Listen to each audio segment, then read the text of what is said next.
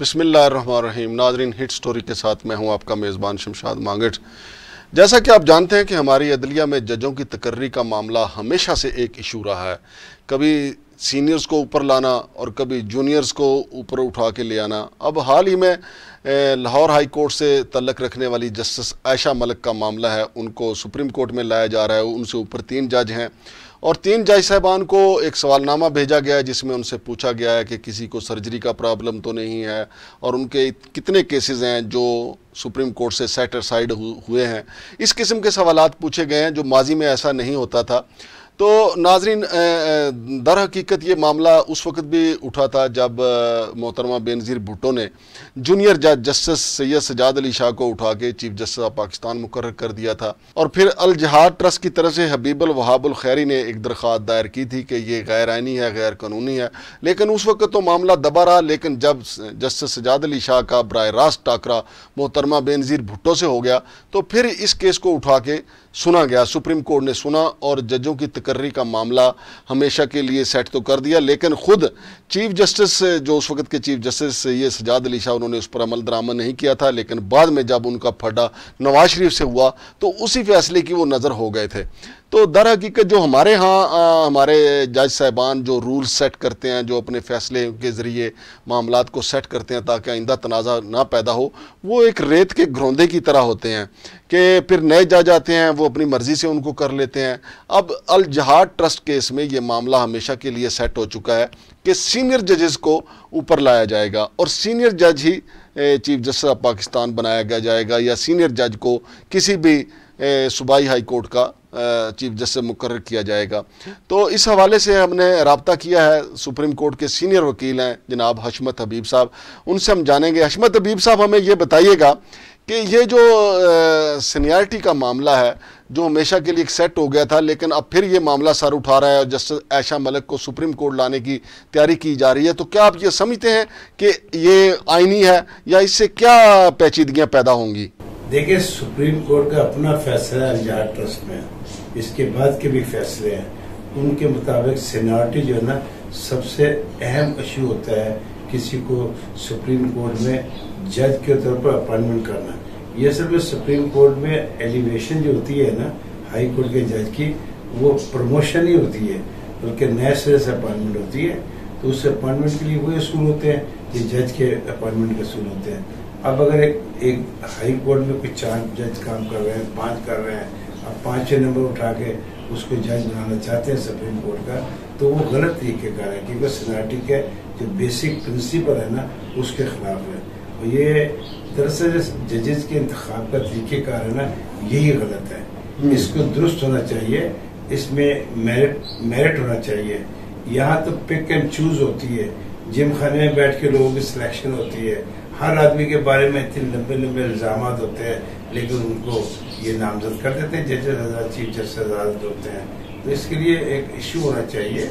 एक कोई नया प्रिंसिपल होना चाहिए जजों के इंतखब करने का तरीक़ेकार तब्दील करना चाहिए।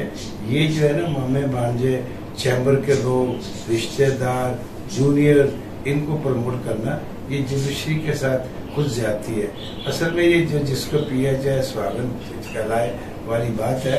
इस चीज़ को आप देखें, सबसे पहले वो अगर किसी जो ग्रुप है, खास डोमिनेटिंग फैक्टर जिसे कहते हैं नादीदा कुतें नादीदा कुतें अपना काम दिखा देती हैं। और इस पूरा एलिगेशन हो जाता है। बाद का ये कही, पहली खातून जज होगी।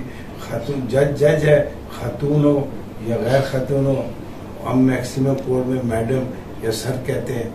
लेकिन मैडम सर कहना अपनी जगह है, नहीं, पहले खातून जज होना इस बुनियाद पर कि ये खातून है, ये गलती के कारण है। सीनियर होना चाहिए कॉम्पिटेंट होना चाहिए। अब अगर एक आदमी सीनियर है कॉम्पिटेंट नहीं तो उसको वहीं से हाई कोर्ट से फ़र्क कर दिया जाए। हाई कोर्ट में वो लोग जो के छन्नी से आगे आते हैं वो अगर सीनियर है दे आर कॉम्पिटेंट उन्हीं का राइट होता है करने का अब खातून जज तो दूसरे दूसरे सिंध में भी है और अपने केपी केपी के भी, भी है खातून जज खातून जज होना तो कोई क्राइटेरिया नहीं है। जज जज है इक्वल है। कहीं नहीं लिखा हुआ कि ये खातून जज जो है ना हाँ खातून जज अगर खातून और खातून अगर किसी केस में मुलवस हो जाए उसके लिए कि छह माह के बाद उसको जवाब का हक हो जाता है, या साल के बाद होता है। लेकिन ये जज जजशिप तो एक परफॉर्मेंस है, एक कॉन्स्टिट्यूशनल पोस्ट है, उस, एक आइन के मुताबिक काम करना होता है। उसके लिए सीनियरिटी के मुताबिक करना चाहिए। ना करना जो है ना जुडिशरी का जो अदारा है ना, उसको बर्बाद करने के मुतरद है। ये नहीं होना चाहिए। हशमत हबीब साहब, हमारी ये भी रहनमाई कर दीजिएगा कि जो ये सवालनामा भेजा गया है, क्या माजी में ऐसा होता रहा है? क्या ये दुरुस्त है कि इस तरीके से उनको पूछा गया जाए? और एजेंडे में तो मोहतरमा आयशा मलिक का नाम रखा जाए, लेकिन जो सीनियर तीन जज हैं, उनको सिर्फ़ सवालनामा उनके घर भेज दिया जाए, जिसको कहते हैं पंजाबी में गोंगलों से मिट्टी झाड़ना। तो क्या ये दुरुस्त होगा? देखिए, एजेंडे का बेसिक असूल है कि जिस बात पर आपने मीटिंग करनी ना, उससे मतलब नोन जितने हैं मामला उसको एजेंडे में शामिल किया जाए। वैसे एजेंडे एजेंडे में जो है ना, एक लफ्ज़ होता है, आखिर में। Any other matter with the permission of the chair लेकिन यहाँ वो बात नहीं है। यहाँ पर जितने लोग हैं, सीनियर लोग हैं, जो नोन हैं उन सबको एजेंडे में शामिल करना चाहिए था। जी तो नाजरीन आपने सुना कि हशमत हबीब साहब कह रहे थे कि ये गैर आइनी होगा गैर कानूनी होगा और ऐसा नहीं होना चाहिए। जो आ, मामला अलजहा ट्रस्ट केस में सेट हो चुका है उसको ऐसा ही रहना चाहिए। इस मामले पे तबसरे के लिए राय के लिए कानूनी राय जानने के लिए हमने जनाब रियासत अली आज़ाद जो कि सुप्रीम कोर्ट के ही वकील हैं उनसे भी रबता किया है। रियासत अली आज़ाद साहब बताइएगा कि जस्टिस आयशा मलिक जो कि चौथे नंबर पर हैं पंजाब में उन को सुप्रीम कोर्ट में लाया जा रहा है, क्या यह कानूनी रास्ता है या आइनी रास्ता है, या आइन की खिलाफ वर्जी है? बिसमीम रहीम मांगट साहब सबसे पहले जो इम्पोर्टेंट चीज़ है, वो ये है कि कॉन्स्टिट्यूशन ऑफ़ 1973 के अंदर डायरेक्ट अपॉइंटमेंट भी सुप्रीम कोर्ट ऑफ़ पाकिस्तान के अंदर हो सकती है। लेकिन चूँकि एक सर्विंग जज जो हैं, हाई कोर्ट के अंदर, उनको सुप्रीम कोर्ट ऑफ़ पाकिस्तान में लाया जा रहा है जो बकौल आपके और हमारे इल्म के मुताबिक वो चौथे नंबर पे सीनियरिटी पे वहाँ पे हैं। तो उनको सुप्रीम कोर्ट ऑफ़ पाकिस्तान में लाया जा रहा है। ये बिल्कुल ये मीडिया पे भी हमने सुना, हमने सोशल मीडिया पे भी सुना और ये सारी चीज़ जो है, मैं समझता हूँ कि अगर आप सुप्रीम कोर्ट ऑफ़ पाकिस्तान की वो जजमेंट, जो Al Jihad trust versus federation of Pakistan है, जो उसके अंदर प्रिंसिपल ले डाउन किया गया कि जो मोस्ट सीनियर जज होगा, उस हाई कोर्ट का, उसको सुप्रीम कोर्ट ऑफ़ पाकिस्तान में लाया जाएगा। तो मैं समझता हूँ कि वो जजमेंट जो सुप्रीम कोर्ट ऑफ़ पाकिस्तान ने होल्ड किया था प्रिंसिपल ये उसके मुनाफी है। रियासत अली इजाज साहब, हमारी ये भी रहनुमाई फरमा दीजिएगा कि ये जो सवालनामा भेजा गया है, क्या माजी में कभी ऐसा हुआ है कि तीन जजों को सवालनामा भेज दिया जाए और एजेंडे में मोहतरमा आयशा मलिक साहबा का नाम शामिल कर लिया जाए? क्या माजी में ऐसा हुआ है?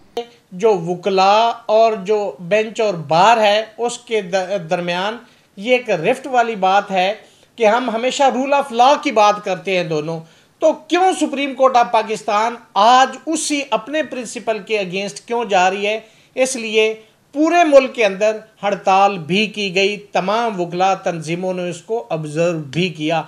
अगर ऐसा प्रिंसिपल मांगट साहब मुल्क के अंदर परिवेल करने लग जाएगा पिक एंड चूज़ वाली पॉलिसी आ जाएगी तो फिर लोग सुप्रीम कोर्ट ऑफ़ पाकिस्तान, जो जुडिशल कमीशन है, वहाँ पे फिर अपनी मर्ज़ी के जजेस को लाया जाएगा, चाहे वो दस नंबर पे जूनियर हो, वो बीस पे होगा, फिर वो सीनियरिटी वाला जो रूल है, वो मैं समझता हूँ कि उसकी नफ़ी हो जाएगी, जो कि रूल ऑफ़ लॉ के लिए और इस मुल्क के अंदर डिस्पेंसेशन ऑफ़ जस्टिस के लिए मैं समझता हूँ कि अच्छा शगुन नहीं हो सकता। मैंने अपने नाकस इल्म और नाकस अकल के मुताबिक जो मेरी एक as a student of law मेरी अप्रोच है टूवर्ड्स लॉ मैंने पहले आज तक ऐसा कोई भी प्रेसिडेंट नहीं देखा जिसके अंदर ये तमाम चीज़ें कि जी आप ये बताएँ, जो आपने मुझे सवाल बताए अगर वो as per subject to confirmation with the record